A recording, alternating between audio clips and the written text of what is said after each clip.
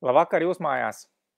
Vakara solītā tiešraide, kārtējais eh, dzīves stāsts par bāriņtiesām un uh, mums tātad eh, pievienosies um, studijā tuliņās uh, vēl viena māmiņa, kurai ir savs dzīves stāsts stāstāms un um, māmiņa ir mums visbulīte un jā, tātad tie, kuri mums uh, seko milzīgs paldies, jau laicīgi aicinu cilvēkus dalīties ar šo video, ar šo informāciju Un ko? Nu tad studijā aicinām mums uh, bizbulīti. Tātad mirklīti, tuliņās es tā pievienoju. Tā. Labvakar, bizbulīti. Tagad pastāsti par sevi un izstāsti, kas ir atgadījies ar tevi. Labvakar. Nu, tas bija ļoti, ļoti, ļoti, var teikt, sen ļoti. Es, ie, es sākumā dzīvoju Dursupē, sākumā dzīvoju, jā, un pēc tam, nu, iepazinos puisi, jā, tur sākām draudzēties, dzīvojām kopā, jā. Nu, tad tā, bet beigās bērns piedzima, jā, un, un, un, un, jo viņš bija ļoti, var teikt, ko mamma teica, to viņš darīja, jā. Uh, Un, un, un, nu, bērni piedzima, pēc tam jau viņš eh, sāka dzert, jā, saņēma bērnu naudu. Un bija tā, ka man to, ka viņš ņēma veikalā uz parādu, man bija jādod, nu, jāatmaksā viņam, mm, jo, jo viņš nekur arī ilgi ne, vienā darbā neno, nenoturējās, jā, nekad. Nu, tad es vienreiz pieņēmu lēmumu, lēmumu, kad es nemaksāšu viņam, lai maksā pats. Nu, tad sākās tur strīdi, jā. Nu, rokas, paldies Dievam, viņš nepacēla, jā, bet, nu, lamājās vienalga, tur bērnu klātbūtne tāpat lamājās. Nu, tā, un tad uh, uh, es arī, nu, tā kā lai pasaka, nebiju nekāda, nu, mm, mm, Es ne, neteikšu, ka es biju tur uh, kārtīgi jau, nu, es kārtīgi biju, bet, nu, arī reizēm mīlēju iedzert, jā, šad tad, jā, bet, nu, tā, es, ne tā, ka bērni redz, jā, nu, un tad mēs, bija tā, ka man krustāvs atbrauc, nopirka man speciāli dzīvokli, jā, un tad, tad, tad, Un tad mēs pārvācāmies uz ceļu dzīvokli, tur vien pats dzīvojām. Nu, tad it kā viņš nāca ciemos, es atvainojos drusciņā. Nu, Jā, ko? jā. Es nevaru negriezt šo Nu, vot, un, un, un, un tad viņš nāca pārbaudīt, vai kas tev tur nav, nav pa nakti. Palicis vai ko. Es at... nekas. Pagaidiet. Kas man te zvana? Nu, nevar tā zvanīt, nu. Ai. Nu, tā, kas tur ir? Kur palika man? Ej, Mēs tevi Ah. redzam, jā. Mhm. ai, atvainojos, Piter. Jā, nu, vot, un, un, un, un viņš nāca pārbaudi, nu, kas tev tur nav kaut tur kāds. Es saku, es varu bērnu vienu pat esmu. Nāc, nu, nāc pārbaudīt, nu, tā neko. Un tad vācam beigās, nu, arī nāca draudzenes, iedzērām tur. Mm. Nu, jā, un tad uh, bija tā, ka bāriņties izsauc vecmamma. Viņa mamma izsauc. Un, un tajā reizē bija man dzimšanas diena bija, un tad bija draudzene atnākus. Un mēs, protams, iedzērām tur šampāniet un tā, jā, nu tā. Bet, uh, ko arī vairs nebija ne tā, piedzērās. Nu, vot, un, un, un, nu, neko tad, ar viņu tieši izsauc bāriņu tieši tad. Um, un tad ienāca bāriņties, jā, redzēja, kad Nu, kad ir, jā, kad ir uh, pūdeles galda, nu tā. Un tad viņa teica, ka uh, man izņems no bērnu, izņems bērnu no, no, no nu, atņems man bērnu, māmas uh, tās māca tiesības uz bērnu. Jā. Tad, respektīvi, Nu, bāriņtiesa bija Neko, tikai vienu reizi. Beigās mums bija otrā dienā man bija un vecmām. Jā, jā. Viņa pat, godīgi sakot, nu, un tad bija tā, labi, otrā dienā man bija iziet uh, riņties, man vecmammai un bērnu tēvai. Mēs aizgājām, uh, un vecmamma jau man pa ceļam teica, nu, tu jau taču vari, uh, tu jau taču varēsi apciemot, nu, nu atsakies no to bērnu, tev jau, tu jau tāpat nevarēsi izaudzināt. Es teicu, nē, es neteikšos no viņa. Vārds vārdam, tad mēs gājām uh, uz bariņtiešu, un es tur sēdēju, nu, gaidīju, kamēr viņi tur viss sadarīs, viņi apsēžām blakus, viņas, nu, tu taču pāri, nu, nu, atsaki, kam tu tāpatās viņas neizaudzinās. Uh, nu, am, es jau biju jau, nu, kā, nu, uh, uztraukuties, un tad vēl uh, bērnu tēvs teica, nu, jā, nu, taču neizaudzinās, nu, uh, var teikt, nu, psihiski uh, spieda uz manīm. Eh, Tad sanāk eh, tā, tam- ka attiecīgi bērna, bērna tēva māte bija iniciators bērnu izņemšanai no tavas ģimenes. Es pareizi saprotu. Jā, jā, jā. Mhm. Un tad tā, ka iegājām bariņtiesā iekšā tajā kabinetā, iegājām. Un tad tā Vija Ernsona, tā galvenā tur, jā. Es saukšu lietas vārdos, jo, jo jāzina. Jā. Uh, Vija Ernsone uh, arī tur teica, nu jā, tu jau mamīt nevarēsi izaudzināt, tu jau redz, kā tu vien pats ir es un tā, es, bet es neesmu vien pats. Tēvam arī ir jā, jāpalīdz, jā. Nu, tad tā vecmāma teica, nu, nu labi, nu, nu, tu jau apciemota varēsi un ne, tev nelieksim neko. Un uh, burtiski spiedu to papīru parakstīt. Nu, un, nu, protams, es tur ilgi ne, neparakstīšu un tā. Nu, tad ā, es parakstīju, jā, šās beigās. Ja. Un tad viņi paņēma vecā mamma abus bērnus pie sevis.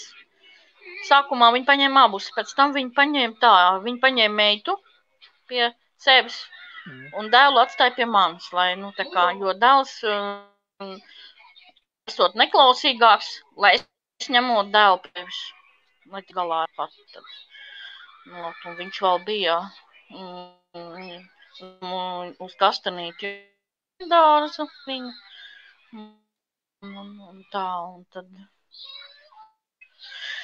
nu, tā, un tad, uh, bija, kad mēs, es braukāju ar to puiku, tad, kad es gribēju uh, satikt meitiņu aprunāties, jā, tad um, vecā mamma vienmēr aizbildinājās, ka vai viņa tēvs nav mājās ar bērnu, es aizgājuši pastaigāties, un, meitiņa guļ, nevar tagad viņu tra traucēt.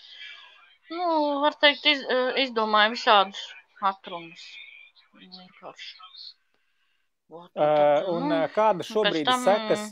Uh, Šobrīd, pat cik meita atrodas pie vīra mātes, ja, uh, tad tagad es saprotu, ka pret tevi ir vērsta arī uztur piedziņa, vai ne? Nē, jā, jā, jā. Bet es panācu, es panācu caur, nu, bija tā, ka es vienu laiku biju strādāt, tad tā vecā māma paņem arī puiku pie sevis, jā. Un tad, kad es atbraucu, gribēju aprunāties un satikt puiku ar meitu, vecmāma pateica, ka viņa nav, viņa ir otrās mājās, nu, tur tālāk laukos viņai mm, mājās. Es teicu, nu labi, es aiziešu līdz turienei, es zinu, kur viņi tie, viņiem ir lauku, nu tās lauku mājas. Un viņi teica, nu,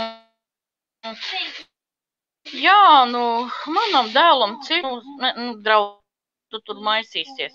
Es saku, bet es pie viņiem neju, es eju pie bērniem. Nu, var teikt, kategoriski darīt tā, visu, lai, lai es tikai nesatiktu viņus. Nu, nu, nu. Viņš izrādās, ka viņš bija beigās aizbraucis uz citu pilsētu, un es tā nevarēju neko. Ne, nezināju, uz kuru pilsētu. Vecmāmai prasīja, viņa teica, viņa nezinot. Kaut gan viņa vienkārši negribēja teikt. Tā arī gadi gāja, es uh, iepazinos ar citu puisi, ja, un pieņem, tad es, mēs gājām uz baznīcu, pieņēmu Jēzu, un paldies Dievam, tagad man ir vīrs, un tad mēs braucām otrais uz Dursupi, jo es gribēju, zvanīju vecmammai, es teicu, ka es gribu satikt savu meitu un puiku. Mhm. Viņa teica, nu labi, nu, bet ko tad tu tur, ko tad tu brauksi, ko tad tur, um, nu, viņam tam puisim Vilns vārds, viņš teica, Vilns jau tev nepieņem, kur tad tu, es saku, bet es esmu precējusies, ja sen ir cita, es braucu pie bērniem vienkārši. Nu, teica, viņa nav mājās, jo pirms tam es runāju ar meitu pa telefonu. Pirms tam es mm. runāju. Viņa teica, ka viņa nav mājās. Tagad. Cik, te, cik šobrīd ir tavai meitiņai gadi? Lotu, nu, nu. Nu, nu. Nu, viņai tagad ir 22 gadi, un paldies Dievam arī tā, ka uh, meitai ir 22 un puisim ir 23 jau. Mm. Ir. Nu, un es turpināšu tālāk. Un tad bija tā, ka uh, tēvs piedzina man alimentus no manīm, jā. Uh, nu, tad es uzzināju tikai skolu, kur viņi mācās. Un uh, tad es arī uzrakstīju puisim vēstuli savam dēlam, kam, jā. Viņš bija priecīgs un gaidīju ciemos, es braucu ciemos, pirmo reizi ieraudzīju, viņš man apķēra. Domāju, ārpats, vai tas ir viņš, nevarēja pazīt nemaz, un tad, nu, un tad jā, es braukāju skolu pie viņa, vienmēr uz pasākumiem viņam vedu uh, visu, visu kaut ko garšīgu drēbes aizvedu viņam. Un, un, un tā, un tad uh, es sapratu tā, ka es gribu atgūt uh, mācas tiesības uz bērniem abiem. Tad es gāju caur tiesu, rakstīju iesniegumu, jā. Un, un, un bērn, es, lai varētu dabūt bērns pie sevim, es rakstīju dzīvokļa komisijai, es gribu dzīvokli, lai es varētu labu, labi, nu, jo, jo pirms tam, kad es dzīvoju tādā dzīvoklī, kur vienkārši nevar ziemā gulēt bez segām un, un plēvas bija piesistas logam priekšā, lai nesaltu. Un palag, un, nu, segas piesistas tā, lai, nu, lai nesaltu. Nu, un pēc tam man iedeva dzīvokli, un arī tas, kad bijusī bāreņties locekli Vineti Irba, Irba, jā, pat nebija jauno apsekot. Un tiešā labi, ka man gadījās ļoti labi tiesnesis. Jā, un es tiesā šo faktu arī liku priekšā. Es teicu, ka viņa nebija apsekot man dzīvokli. Jā. Kā viņi var zināt, vai, nu, ka es nevaru viņu pie sevis ņemt. Un tad pārliku tiesu. Un tad bija viņai jāierod apsekot, bet viņa neieradās apsekot vienkārši aiz dusmām, tad, kad es pateicu, ka viņa nebija uh, apsekot dzīvokli, tad viņa bija dusmīga, viņa gandrīz zemes spēra gaisā, jā.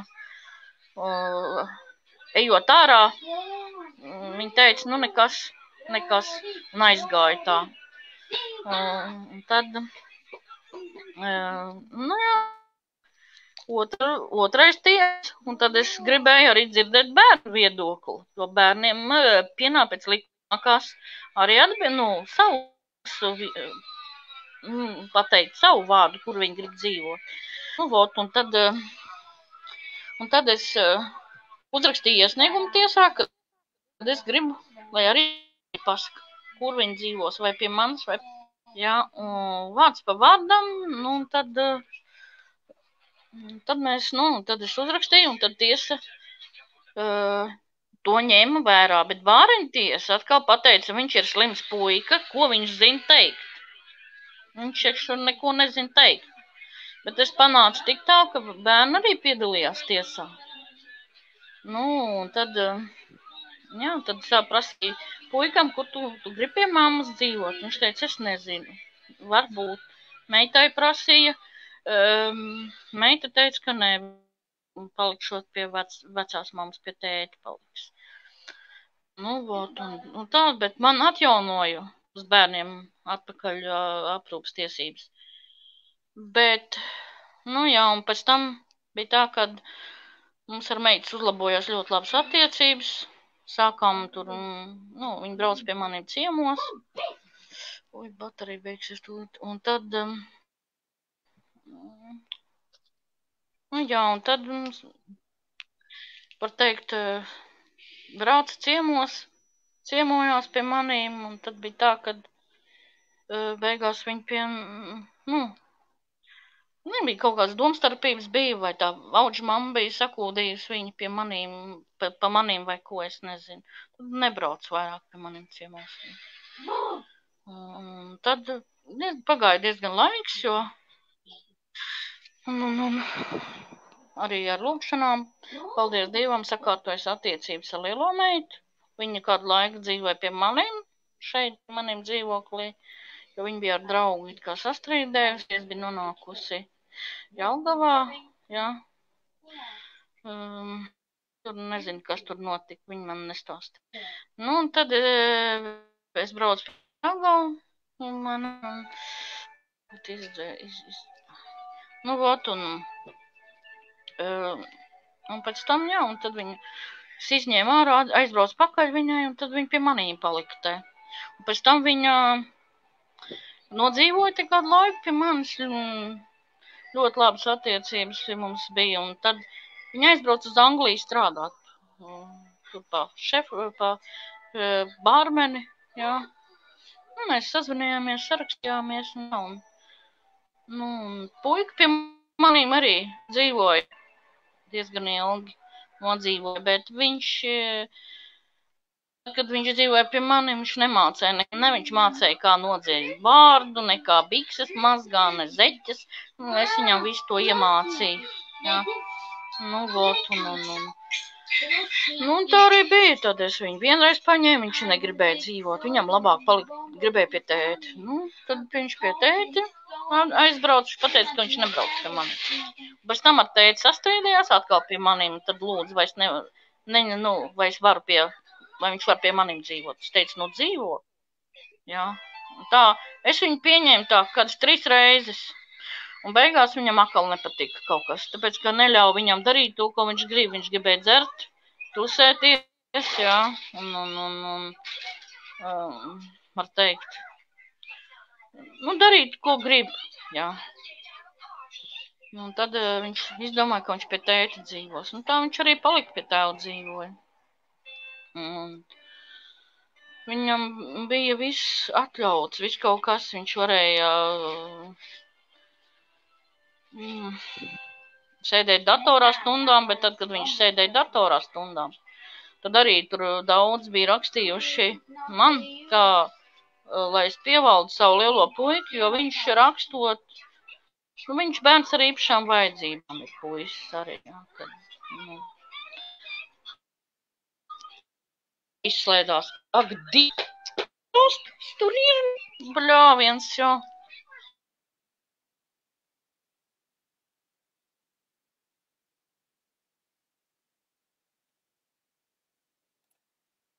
Tā es saprotu, ka Vizbulītē notiek kaut kāds tehniska problēma. Mēģināsim, mēģināsim apskatīties, vai viņai atkal būs tālrunis atkal atpakaļ, jā, jo pat laban, pat laban izskatās mums, jā, kad viņai baterija laikam. Jā, stāsts ir, es tā sapratu, kad um, ir tas notikums ir noticies vairākus gadus apakaļ, kā arī Vizbulīt minēja uz šo dienu, tad meitai 22 gadi, dēlam 20, un tās bija iepriekšējās šīs izdarības, par ko vēlējās Visbulīte ar mums padalīties, un attiecīgi jācer, ka Visbulīte būs apakaļ, paskatīsimies, ja, kas tur varbūt tās izdosies dabūt mobilo tālu un atkal ieslēgtu, ja, jo gribās uzdot jautājumu, lai precīzāk izstāsta, kas īsti ir bijis par iemeslu, attiecīgi bērnu izņemšanai vai tikai šī te pasēdēšana draudzene. Un tāpēc es tā sapratu, ka tagad pēc stāstītā ir bijušas arī savu veidu konflikts situācijas ar dēlu, par cik arī dēls, cik saprotu, ir ar speciālām vajadzībām, ar slimību un nav bijis laikam tā kontakta veiksmīga, kad dēls laikam ir dzīvojis vairākas reizes pie tēva un tad atpakaļ pie visbulītes ticis, jā, un uh, jā, tā kā, nu, nu, jebkurā gadījumā šie visi stāsti, viņi ļoti dramatiski un it sevišķi tie skar vecākus, kad, kad vecākus šķir no bērniem, protams, diezgan, jā, es piekrītu attiecīgi zaigai, ja, tad, tad visbulīte, nu, viņa cilvēks ļoti vispusēji mums stāstīja, tā kā ļoti, ļoti grūti arī saprast iemeslus, cēloņus, un, uh, bet es ceru, ka Vizbulīte mums pēc brītiņa būs apakaļ, jo, cik saprotu, jā, viņai tagad kaut kādas tehniskas problēmas ir uh, baterija izlādējusies tālrunim, jā. Uh, Sanita saka, lai cik nežēlīgs nebūtu bērni, vienmēr izvēlēsies, kur viņiem būs visatļauts. Arī man bija tā, kad skrēja pie tēva, kad es kaut ko neatļauju, tad otrādi. Jā, ir ar bērniem tā, ka pa lielam tā pamatmorāli ir tas, ka bērna attīstības fāze ir atkarīga no mums, no vecākiem, kā mēs savus bērnus audzinām, kā mēs viņiem ieliekam to viņu, viņiem šo te audzināšanu, kādā stilā mēs audzinām, tas ļoti, ļoti atkarīgs no mums, kā vecākiem ir. Un starp citu, ļoti vēlu naktī man bija saruna ar vienu manu paziņu uh, Norvēģijā, kur um, līdzīgs gadījums, kā tas notikās ar attiecīgi Mārci, ja, un kur atņēma ļoti brutāli bāriņties, respektīvi Norvēģijā izņēma bērnus izpildot spriedumu, neskatoties to, ka bērni emocijās raud, ja, un, protams, es varu, kamēr notiek mums šis te savienojums atkal atpakaļ ar Visbulīti, mēģināt sakontaktēties ar šo sievieti no Norvēģijas, un viņa man piekrita pieslēgties, ja viņai būs laiks šodien. Tā,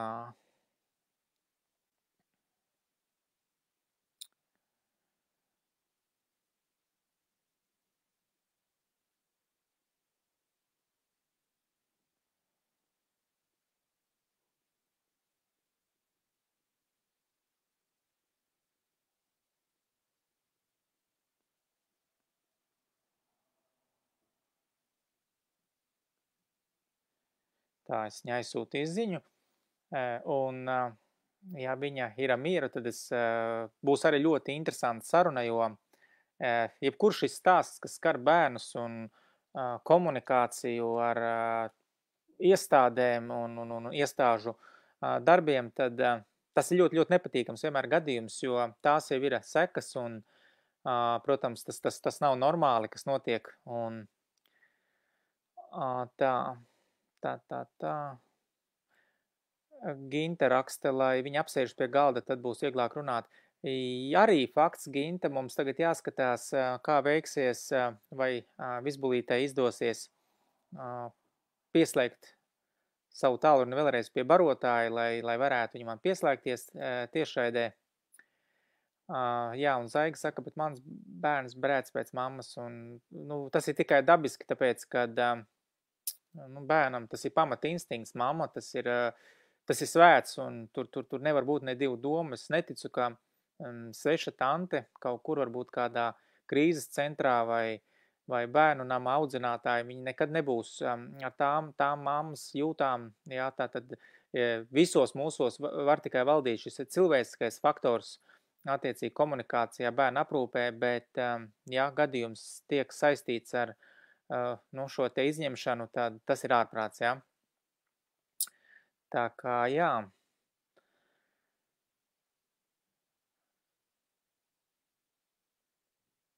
Tā, es sapratu, laikam savā starpā sarakstā šobrīd.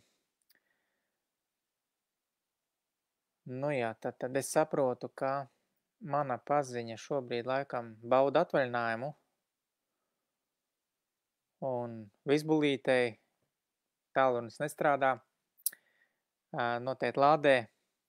Bet pa lielam, jā, es domāju, kad, kad, kad Visbulīte ir izstāstījis savu stāstu, un, un tas ir bijis tātad Visbulītes tātad lēmums padalīties, kā ir noticies gadus apakaļ, jā. Tā, Zaiga saka, jā, bār, jā bet bāriņtiesa pateica, ka ietekmēja bērnu, ka viņš brēc pēc mammas. Atkal jāskatās, varbūt Zaiga, ja jums ir vēlēšanās, jūs varat pievienoties. Es jums nosūtīšu linku, un tad mēs varam padiskutēt tiešraidē. Jūs varat izstāstīt savu problēmu, kā jums tas ir atgadījies. Tā kā tā, Zaigai mēģināsim nosūtīt tulītās tā. Tā, visbulīte mums ir atpakaļ. Ā, tas ir vecā ziņa. Mhm. Tā, zaiga.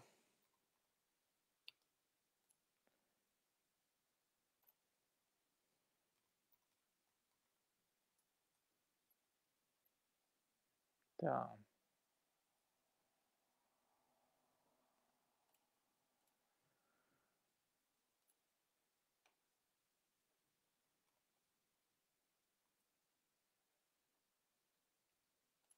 Tā, Zaiga, es jums nosūtīju e, linku, jūs varat e, ielogoties iekšā un pievienoties. Tā mēs varam parunāt par jūsu gadījumu, jo, nu, cik sapratu, tad tā,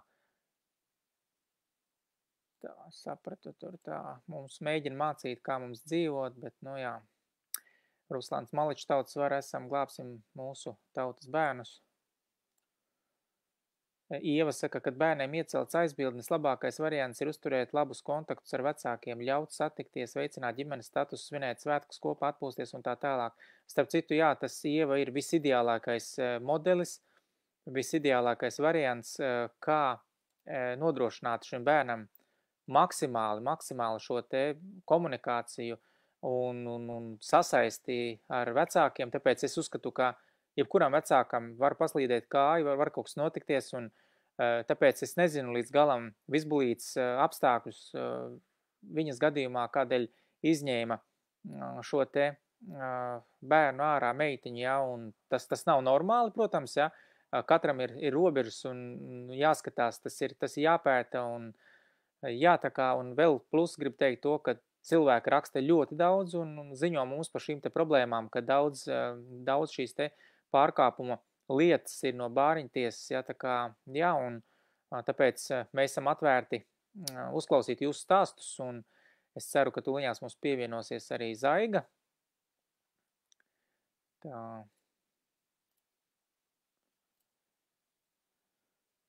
Nu jā, mums iet visu laiku gita karsti, jo praktiski tās ir praktiski ļoti daudz stundas dienā, Tāpat arī analizējot jūsu stāstus un, un skatoties un mēģinot meklēt risinājumus dažādās situācijās, kādās nonāk mūsu tautieši. Un, tāpēc nu, nu, ir tas pamatprincips, pie kā mēs pieturamies un, un dodam šo kodu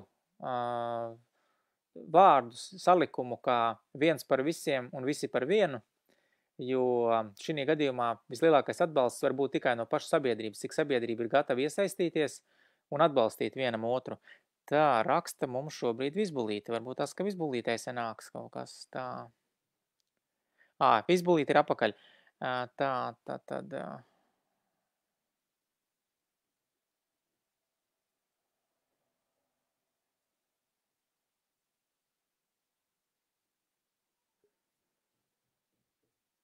Zaiga, vajag dot apstiprinājumu, tad Chrome pārlūkā viņš lūdz apstiprināt allow, jā, tad, tad video un audio, šobrīd man rāda, ka nav pievienots mikrofons vai video iekārta, jeb kamera, tā kā mēģini lūdzu vēlreiz.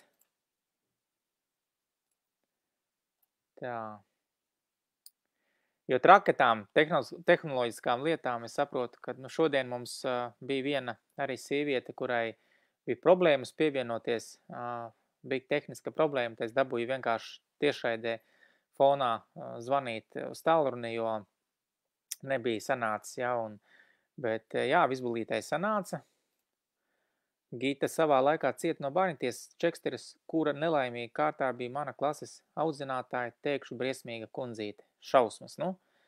Un uh, arī nu, mēs, kā redzam, tausu lietā šīs takmeņainās sejas, ka daļai no tām kundzītēm nemaz savu bērnu nav. Un tad tur vienkārši ļoti grūti diskutēt par tādu faktoru kā mācas instinkts vai cilvēciskais faktors pret bērniem. Tā kā, nu, tas ir šausmas, jā. Tā, Zita, es domāju, izmēģinās viņai varbūt sanāks beidzot. Tātad, Zita, ja jūs man dzirdat, pārlādējiet Chrome pārlūku un vienojieties vēlreiz klāt. Ruslāns tiešām viens par visu, visi, visi kopā apvienosimies ar Tautsvaras fronti, tad grūtā brīdī pašlaik būsim kopā. Tā ir mūsu misija, Ruslan, jā, tā tad, tā, tā, tā, izbalītē tehniska problēma, ok.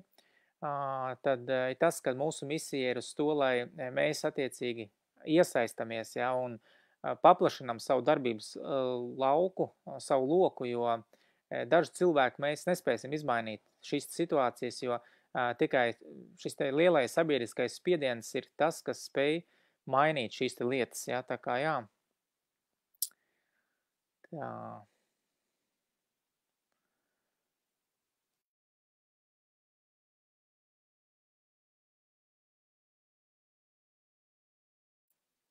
Jā, visbūlītē ir tehniska problēma, tātad zaigai device not connected atkal rāda. Tā, zaiga mēģinās vēlreiz. Nu, tā ir. Ar neatlaidību, ja mēs mēģinām, tad viss sanāk. Bet jā, mm, nezinu, kāpēc šis te, mm, šī te starpprogrammatūra, viņa, viņa diezgan ķēpīga dažiem lietotājiem. It kā nekas sarežģīts nav, bet, bet, bet tā ir problēma dažiem, kas man... Jā, nu tā kaut kā tām tehniskām lietām, jā, būs noteikti arī kaut kad jāuztaisa pamācība. Jā, Zaigai rāda, ka es nav, nav audio nav video.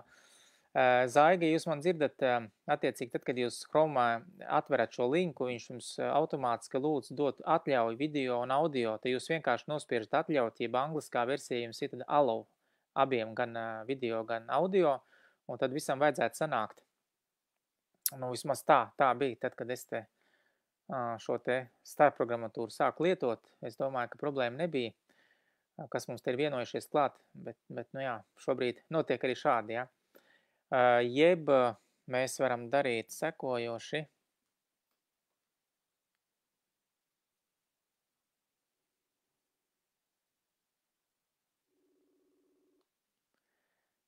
Sveiki, Zaiga! Nu, es domāju, laikam tad uh, darīsim tā kā manu dienas, uh, nu, la, arī viesi, kura runāja ar mani caur telefonu, tad es domāju, mēs darīsim šādā veidā, nu, pat cik tehnika ir tāda lieta, ko nevar saprast īsti, viņa, viņa tad tur nepaklausa mums.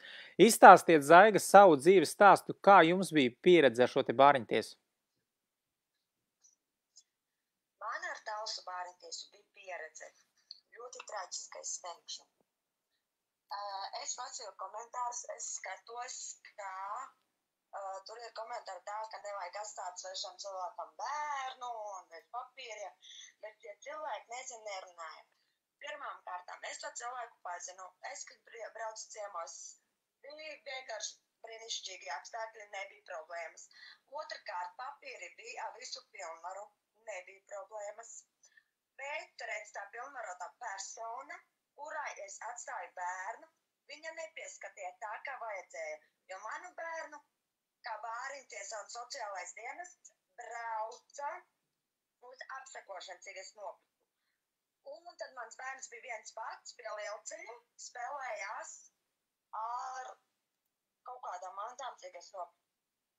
Un viņš bija netīrs un neapkopts. Tāpat kā māja bija kā cūkstālis tajā istabā, kur mans bērns bija. Es tā kā arī teicu, tā jau nav mana problēma. Ne es to varu izdarīt, ne es zināju kaut ko tādu. Es ar bērnu sazinājos katru dienu. Nebija tā diena, ka es nesazinājos. Tāpat video zvanīju, zvanīju. Tāpat finansiāli es atbalstīju. Sūtīju pat. Nu, nebija problēmas. Pēkšņi mm, bāriņties, ka aizbraucu, paņēma bērnu prom. Tur bija viena sieviete ar bērniņu, ar zīdēnu. Un prasīja, vai viņa pieskata manu dēlu. Viņa brutāli atbildēja, ka viņai vienkārši, kā teikt, vienalga, ka viņa neskatās viņu. Tātad mans bērns ir palicis viens bez pieaugšā cilvēka. Kura vaina tā ir? Vai tā ir mana vaina, vai tā persona, kuru es pilnvaroju. Uh, jā, redziet, uh, Zaiga, tām, tām pilnvarojuma tiesībām, tas ir kaut kas jauns Latvijas arī jurisdikcijā un tīri arī uh, bērna saskarsmes uh, tiesību jomā, uh, jo, nu, šī gadījumā ir tā, ka uh, gala rezultātā, uh, cik es saprotu, uh, visu atbildība vienalga tiek velta uz jūsu kā mammas pleciem, un, un tad iespējams atkal tur ir jāizmeklē, uh, tā dziļāk, attiecīgi, vai nav bijušas kaut kādas sautīgas jūsu, jāsaka, tā nozīmētā, pilnvarotā pārstāvja, ja bērnu aizbildņa šī te funkcija, vai, viņa, vai šis aizbildnis nav bijis materiāli ieinteresēts, lai šis bērniņš jums tiktu izņemts no ģimenes, ja? Un um, kāda bija jūsu zaiga rīcība, pie kā jūs vērsāties tad, kad, tad, kad jūs uzzinājāt, ka nu, notiek šī problēma, kad, kad bērns netiek aprūpēts? Un... Es zvanīju personai interesēs, ka es tur notiek par lietu. Viņa man necēlā augšā. Viņa, ne, viņa uzrakstīja pēc vienas dienas man īziņu, ka mans bērns atrodas Jelgavas krīžu centrā. Es zvanīju uz krīžu centru, es zvanīju uz bāri tiesām, es interesējos un zvanīju kā trāpā. Es pat negāju uz darbu, kamēr man darba devējs arī pateica, lai es izdaru, kas man ir jādara un tad. Es zvanīju, interesējos pēc tam pateica tā, es, zvanīju uz krīžu centru, man pateica tā, mēs pašām personām informāciju nesniedzam. Es arī stādījos priekšā, ka es zvanīju, es nosaucu savu personas kodu visu, ko vajadzēja. Viņa tāpat man informāciju nesniedz, jo tā esot liekta. Labi, es zvanīju pilnvarotai personai, es prasīju, kas tur notiek, kas ir ar manu dēlu, kur viņš ir, kas notiek, kāpēc. Visu informāciju es gribēju zināt. Viņa pateica tā, ka tā nav viņas darīšanā un viņai neliksies neziņas. Es saku, kā neliksies neziņas, bet tā ir tava vaina. Tu nepieskatīji manu bērnu, kā mēs bijām runājuši. Un arī pilnvarā arī tas ir rakstīts. Es saku, kā, kā tu pēkšņi tagad paņem un pamet manu bērnu? Un tā viņa arī pateica, bārīties, ka viņa gāja uz bārīties. Viņa man nekaunīgā kārtā vēl atsūtīja īziņu, ka Balskis bāriņtiesa esot pateikusi to, ka es esmu uzrakstījusi papīru, ka es atsakos no bērna. Bet es, kā prasīju, lai parāda man papīru, nebija neviens papīrs un neko nevarēja parādīt. Es biju ļoti satraukta, es zvanīju, es interesējos. Es saprotu tā, tad, kad jūs atstājāt um, savai pilnvarotai personai jūs bērnu, jūs pati atradāties tā kā prombūtne ārzemēs kaut kur, jā? Ja? Jā, es, gā, es strādāju, jā. Mm -hmm. Cik ilgi jūs bijāt prom? Es tā Anglijā biju gadu. Gadu. Ne. Un piln, pilnvars man bija uztaicīts uz nenoteiktu laiku, un to pilnvaru man taicīja Balskas, uh, Balskā, jā. Mm -hmm. Ok, uh, un uh, tad beigu beigās, uh, tad uh, sekas bija kādas, saprotu, tad jums izņēma bērnu uh, bāriņtiesa, jā? Ja? Bauskas pārīties nolēma vienpēr, vienpersonisko lēmumu pa mācu aprūpas tiesībām apturēšanu. Pēc tam papīri aizgāja uz Talsu novada pārītiesu. Viņi arī izskatīja to un arī pieņēma apturēšanu mācu aprūpas tiesībām. Otrakārt, bērns bija auģu ģimenē, jo mēnesi tikai varēja turēt krīžu centrā. Bija pirms sēdes, kā, nu, kaut kāda sēde, kur viņi izspriež par to mācu aprūpas tiesībām. Vēl tas nebija izdarīts. Vēl nebija tas izdarīts kā nedēļa pirms sēdes papīri visai, visiem maniem rādiem bija izsūtīti papīri. Pirms sēdes, kad tā sēde vēl nebija notikusi, ka papīri jau bija izsūtīti. Otrkārt, mana māma gāja rakstīt iesniegumu par manu dēlu. Bet viņa uzrakstīja iesniegumu, iesniegums vēl nebija izskatīts, ka mans dēls atradās jau auģu ģimenē. Mm -hmm. Labi, Zaiga, eh, vai uh, ir bijusi kaut kāda darbība no Bauskas uh, sociālo dienestu puses, ir bijis apsekojums jūsu ģimenei un tā? Nē, man, man ar Bausku nav bijuši darīšanas. Nē, bet jūs teicāt, Bauskas bāriņtiesa tā kā izņēma, jā? Viņa, viņa bija viltots zvans, ka viņa aizbrauc un apskatījās tā tā kā apsakošana, apsakošana, izsaukums vai tā viņa sauc. Tad viņa arī atrada man bērnu, ka viņš stāvēja pie Lielcai, kur mašīnas brauc. Un tad šī te jūsu pilnvarotā persona tajā brīdī atradās mājā vai neatradās? Nē, neatradās. Viņai arī aizbildniecībā ir mazdēls, ko viņa paņēma no dzimšanas. Viņa ar to, ar to savu aizbildniecības dēlu, kā teikt, puiku jaunu. Viņa bija slimnīcā, viņa tajā momentā nebija mājās, bet tur bija sieviete, viņas meita. Mm -hmm. Viņa pateica, ka viņa nerūpēsies par bērnu, ka viņa neuzņemās atbildību. Tā arī ir rakstīts papīros balsts bāri tiesā. Labi, un cik, cik, tālu, cik tālu jums, Zaiga, šobrīd šī lieta ir? Vai ir iespēja atgūt bērnu vai, vai nē? Nu, cik es zinu, ka ir, ir iespēja, tiešām ir iespēja pateicoties daudz varas frontei, tiešām visai, kā lai saka, komandai, pateicoties viņiem, es arī atgūšu bērnu. Nu, jā. Un mans bērns ir atrodas Ventspils krīžu centrā. Un es ar viņu varu tikties, es varu runāt, zvanīt, nav problēmas. Mm. Bet kā tur tālāk aizies, es nezinu. Uh, šobrīd jūs, Zaiga, atrodaties Latvijā, cik saprotu pareizi? Es esmu jau divus mēnešus Latvijā, tad, kad es atbraucu no ārzemēm. Tas bija.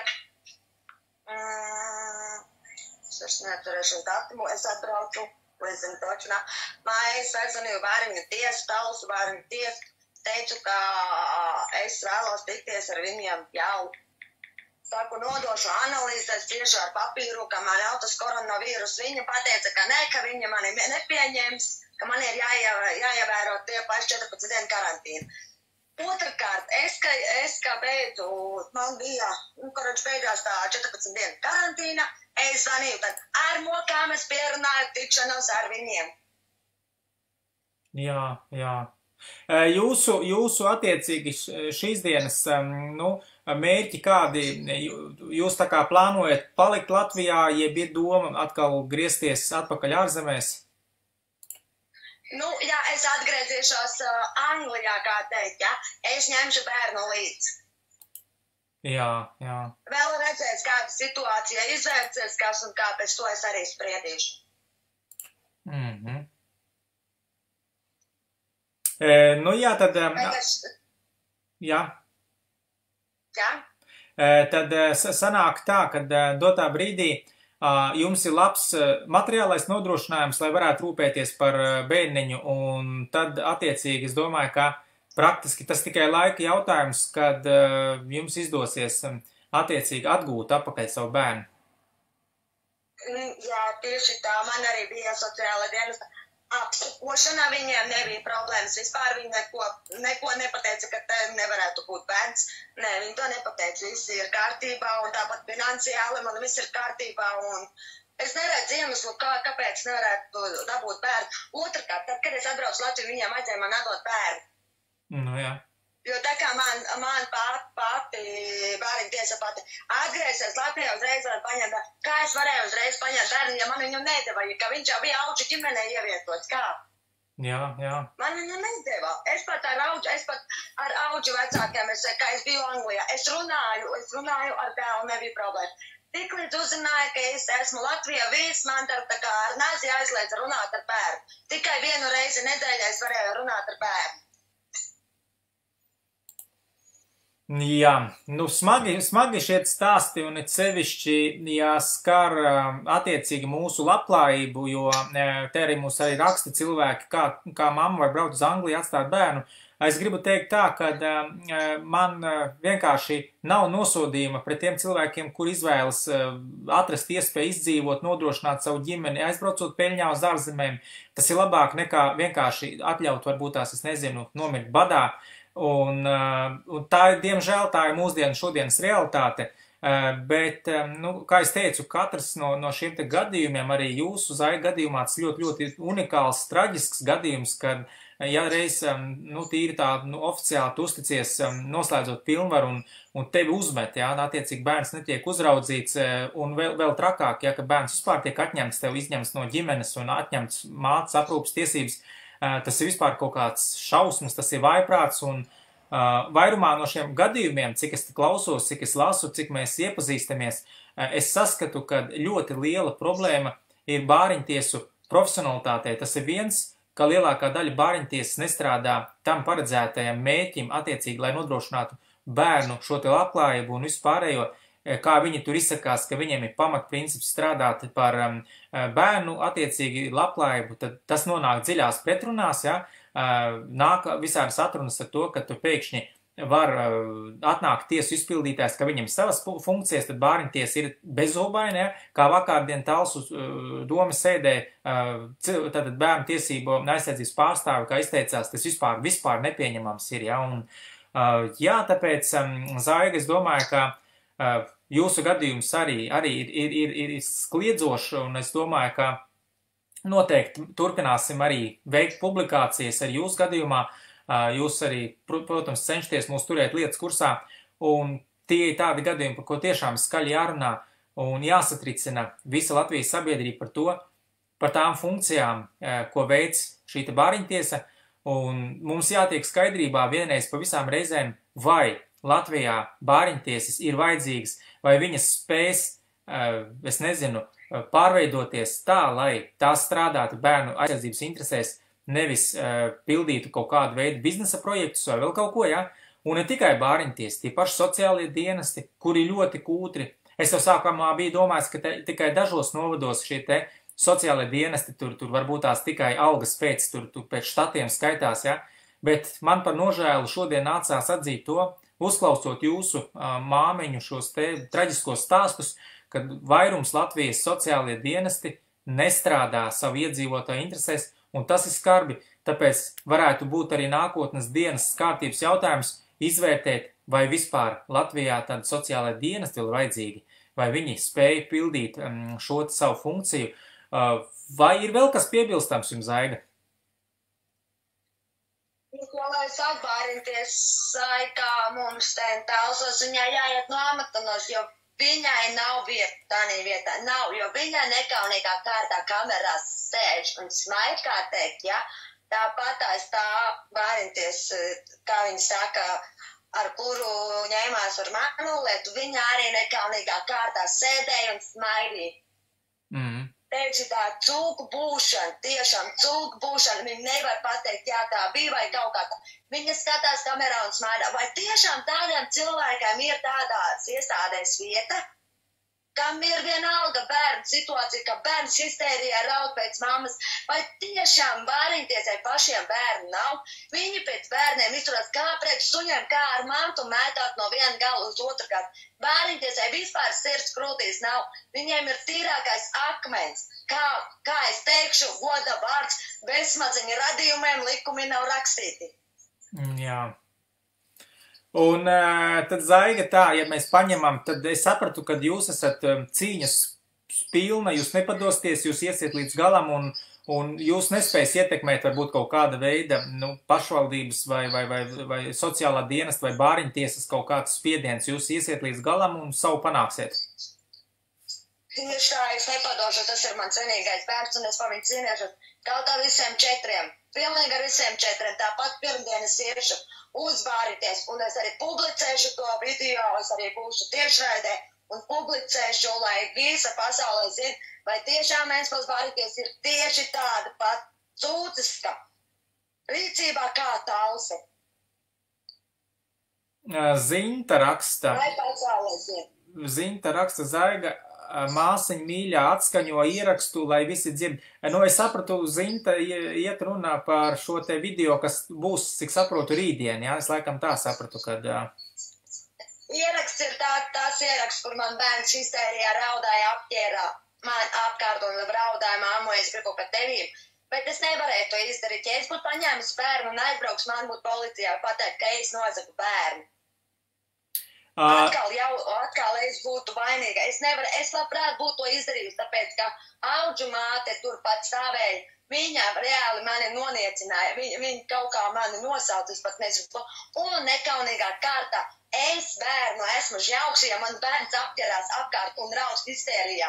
Man auģu māte uzbļāvis, nežņaudēt bērnu, laidat viņu vaļā. Es kā pat, ko man tagad darīt, nomest viņu ap bāriņtiesa. Taķana Zēģere pateica, Jā, lūdzu, vairāk! Nu, kur bāriņties kaut ko tādu var pateikt, kur vispār prāts kaut ko tādu pateikt. Viņai tādā iestādē kā bāriņties, viņai nav vietas tur. Tāpat tas arī kā Feldmane. Kur vispār kaut ko tādu var izdarīt un kaut ko tādu pateikt? Reku mums sieva raksta, Arvi vajag painteresēties, cik daudz no auģu vecākiem ir pietuvinātas personas bāriņtiesas darbiniecēm un cik šie auģu vecāki par šiem bērniem saņem pabalstus.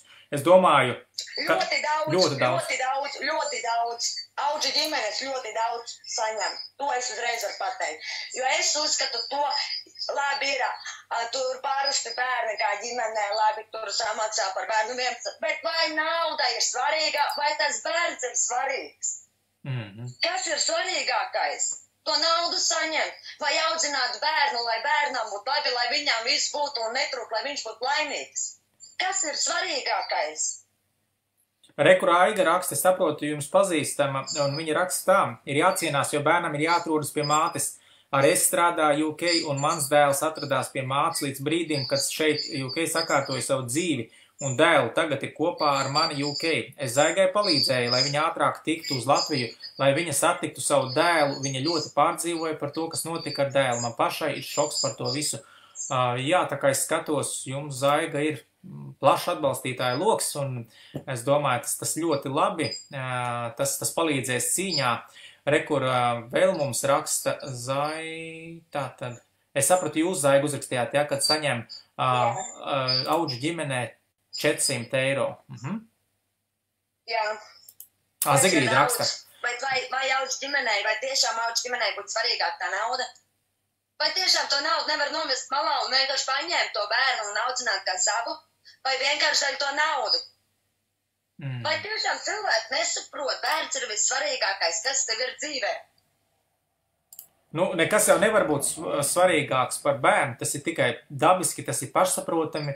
Un tu, tu nevari būt ne divu domu, jo bērns jau nav prece, ar kuru tirgoties, kuru vienkārši šodien izdomājis paņem un nost, atdod daudz ģimenē un viss, jo galu galā pāri visam jābūt ir šīm bērnu interesēm. Bet bāriņtiesa uzskata, ka bērns ir precerēts. Bērns atrodas tā, tāpat kā bāriņtiesa man draudēja pēdējā sarunā, pēdējā tikšanās, ka viņa man draudēja, ka man, nu, manam bērnam uz labā krīžu centrā Ventspilī, un uh, viņa man draudēja, un Feldmane tu pats sēdē blakus. Es viņai tagad teicu, ko jūs man draudat, kāpēc jūs, draud, jūs drīkstat draudēt? Feldman pateica, ka tie nav draudi, es pateicu, ka tie ir draudi, jūs man draudat, un nākošajā dienā, jā, man bērns atrādās krišķēta. Reizi, bērniņties var tirgoties ar bērniem, viņiem nav sirskrūtīs, viņiem vienalga, viņi, ne, viņiem, nesatraucas, galvenais, lai viņai maksātu par darbu. Nu, vakardien arī uzstājoties mūsu tautsars fronts kolēģiem, kuri attiecīgi runāja pēc šīs te bērnu tiesību aizsardzības pārstāvis teiktā, kad viņa pateica, ka visasot likuma rāmjos, jā, kā attiecīgi 30, cik tās lietas, 32, ja nemaldos, ne vai 35 tika izskatīts divu dienu laikā, vai tās ir kvalitatīvi izskatītas un, un pārējās pretrunas ar šo te fake infekciju Latvijā par šo te covidu, ja tur, ja reiz cilvēkiem lika ievērota karantīnas pasākumus, distancēšanos, tad nu, šie ierēģi tam visam ignorēja, sakot, ka dienesta pienākums pildot viņiem tas nav, ka viņi, uz viņiem apmēram daudz kas neatiecās, ka nolēmums, ja vēl pasaka to, ka pēc piekritības, ja bērns ir dzīvojis Lielbritānijā, kad jāklausa likumam, vienkārši nesas viestu. Es uzskatu, ka uh, tie, kas mums ir tagad augstākajos šajos te, uh, nu, plauktos, kā, kā valsts prezidents un ministri prezidents ir aizdomājis, vai uh, nav jāiestājās arī par šo te mūsu bērnu aizsardzību un ne, neklausīt tai konvencijas normai, kura paredz, ja, kad attiecīgi šis bērns ir atstājams Lielbritānijā. Tas ir pilnīgs murgs un, un man nesaprotams pasākums, jo uh, rodas tad jautājums, ja Latvija tik viegli atsakās no saviem bērniem, vai vispār mums ir nepieciešama tāda Latvija, tad jāsaka tā, būšu ļoti, ļoti skarbs šajā gadījumā, jo dzirdot, dzirdot vakardienas talsu sēdes šo te, nu, izklāstu no, no, no bērnu tiesību aizsardzības? Nu, es, nu, es pateikšu vienu tikai. Tajā sēdē es piedalījos, tur vienkārši briesmīgi. Pilnīgs briesmas, pārdaks. Es teikšu, zooloģiskais dārs ar dzīvniekiem. Jā. Pabriesmīgi, pabriesmīgi. Rekur, Es neuzskatu, ka tur vispār kaut ko vajag, tāpēc, ka neviens tur neko nemāk pateikt, neko. Vot Inga, jā, vot viņa runāja, jā, tiešām mm, cepur nos viņā, jā. Bet pārējā, kā ūdens mutē ieņēmus, tur iebilšanu vai, vai, vai piekrišanu vai jautājumu. Neviens neko nevarēja pajautāt. Neviens lielākā daļa stāvēja klusi. Nu, es, es nesaprotu. Es, vai nu es esmu pa stulbu vai kā, bet es tajā brīdī nesapratu, kāpēc neviens neko nejautā. Pilnīgi neko nerisina to jautājumu. Neviens. Pat uz jautājumiem nemācēja atbildēt. Aplinkus visu laiku runāja. Rekur eh, Zinta raksta, ka bāriņties jau tagad to neievēroja, tikai šķiroja citiem bērnu izrāva ārā ar varu un neievēroja, bet zaigai redz bija jāsēž karantīnā un atteicās pieņemt. Jā, bija tā, jā, tieši tā bija. Man uzspieda, mani nepieņēma, mani noraidīja, bet tajā pašā laikā viena māmiņa atbrauc no ārzemēm, uz citiem tika klāt, uz citiem. Un tas ir normāli, vai viņi iet ar likumu? Viņi neievēro likumus, viņi apiet likumus, tas ir normāli. Jā, un eh, tāpēc jau saprotiet, Zaiga, arī tas, eh, kādēļ notiek visa šī cīņa. Pirmām kārtām, ņemot vērā mūsu skaitlisko sastāvu, mēs esam ļoti maza nācija kā Latvija. Un ja mēs mētāsimies ar saviem bērniem pa labi, pa kreisi nākotnes, nu, ne, mēs nevaram runāt par normālu nākotni, un um, tāpēc viens no mūsu pozīcijām tātad ir tātad saliedēti plecu pie pleca par visām šīm lietām cīnīties, nekautrēties, runāt. Uh, arī es saku, es izsaku visu cieņu visām jums māmiņām, tēviem, kuri mums raksta, kuri, kuri skaļi saka savus šos te atgadījumus. Un, nu, tiešām visu, visu cieņu, tāpēc, ka līdz šim daudzi no mūsu tautiešiem ir bijuši sava, sava veida tā kā, nu, apburti vai apklusināti, kad neuzdrošinājās um, skaļi runāt par šo savu sāpi, baidoties tikt izsmietiem Latvijas, um, Latvijā un, un attiecīgi pasaulē, tad es gribu teikt to, ka uh, pa lielam uh, visi šie te gadījumi, viņi ir kā uzskatāms piemērs to, tam, kad ir iestājies šis brīdis, ka mums ir jāiestājās par saviem, saviem cilvēkiem, par saviem bērniem, un uh, tas, tas būtu ļoti, ļoti ciniski, ja, ja pa kādu no šiem te gadījumiem mēs smietos vai, vai, vai pārmestu par kādu cilvēku pieļautajām dzīves kļūdām. Tāpēc es uzskatu, jā, ka, um, jā, Zaiga, mēs cīnīsimies, turpināsim šo cīņu. Paldies, ka atvēltījāt savu laiku un, protams, turiet mūsu lietas kursā, nebaidieties publicēt video un, un ierakstus, kā jums veicās, Un paldies jums par sarunu, Zaiga. Nav par ko, un es to vienmēr darīšu un nepametīšu to neatklāt, kā teikt. Un es iesaku vēl citiem tiešām, ja jums ir šitāda situācija, izstāstiet, jums paliks vieglāk un būs atbalsts no malām. Nebaidieties no komentāriem. Tie, kuri to nezinās, tie arī neko neizdarīs. Tā kā es iesaku, nebaidieties, dariet to. Jums būs vieglāk un jums būs cilvēki, kas jums palīdzēs. Un zaiga atcerieties, viens par visiem un visi par vienu. Pareizi?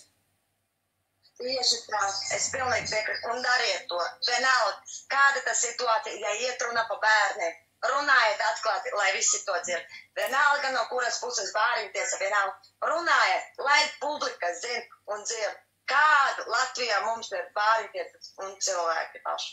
Jā, Zaiga, es jums novēlu, lai ir enerģisks un pozitīvs brīvdienas jums, un paldies jums, ka pievienojāties, un sekosim līdz jaunumiem. Jā, un labi sarunājuši. Ā, tā, Zaiga jums. Paldies, Eko. Tā, bija vēl viena drosmīga māmiņa, kur pieslēdzās mums, un stāsti ļoti, ļoti, ļoti, ļoti tādi, nu, jāsaka, tā emocionāli, protams, un tas, tas neatstāja mūs vienaldzīgus šajos gadījumos, un mums jāiesaistās savus cilvēkus aizstāvot. Tāpēc šodienā tas arī būtu viss, un es izsaku vēlreiz milzīgi paldies visām māmiņām un tētiem par drosmi skaļi runāt par šīm lietām, dalīties, un iespēju robežās, protams, mēs tautsvaras fronti pieslēgsimies un palīdzēsim, un esam gatavi plecu pie pleca iet un cīnīties, un jā, tā kā visiem, lai enerģijas pozitīvsma pilns ir šīs te brīvdienas, un tiekamies atkal jau rītdien manā kārtējā sestdienas tiešraidē. Lai jums visiem pozitīvs šis vakars! Atā!